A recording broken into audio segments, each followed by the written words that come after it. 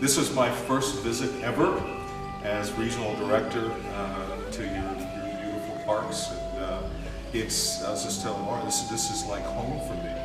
Uh, I'm from Texas and from a small agricultural rural community outside of Houston that looks exactly like this and smells exactly like this. And so this is like coming home for me.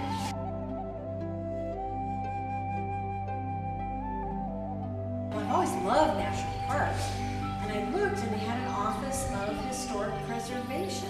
And I thought, whoa, that's right up my alley.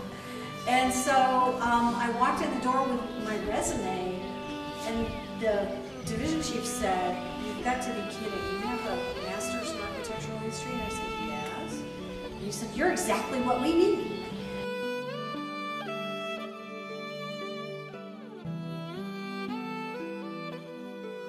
And I've never been on a plane before. and I've never been away from home, so I convinced my father, who's military, to allow me to go way to New York by myself, and I convinced him.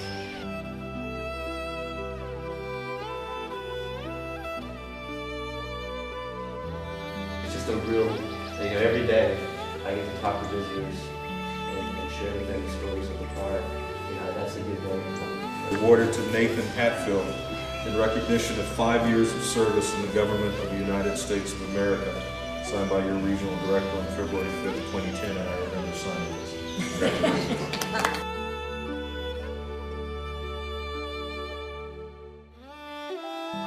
I have the, uh, the honor of, of serving as your regional director and, uh, and, and working with 3,300 of uh, our, our agency's most dedicated, professional, loyal staff uh, in nine states in the Caribbean. And I am gradually working my way through the region.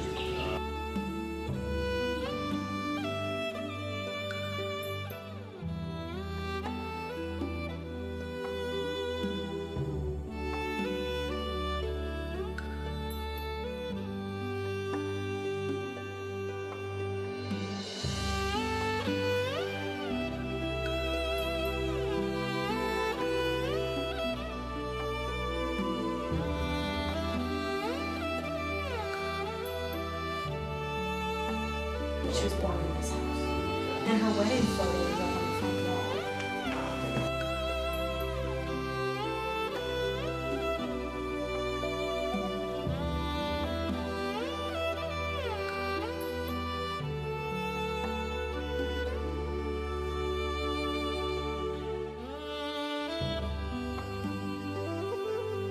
my age they know nothing about it. They just know that this is a painting.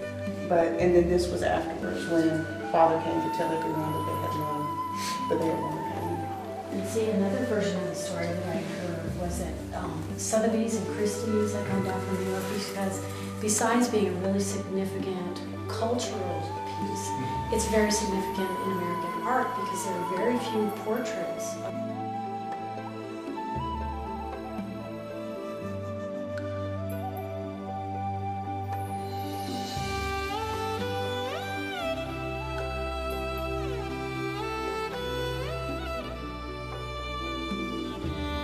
of Different types of native plants, animals, birds. Uh, other people that were here, some of the females, uh, Rachel Field. Some people say seven children, some people say eight, but nonetheless, seven or eight children. So obviously the two-room house, not quite enough room. So she adds the side galleries for bedrooms, and then she adds the two hexagonal shapes at the corner called the garçonnières rooms for older boys.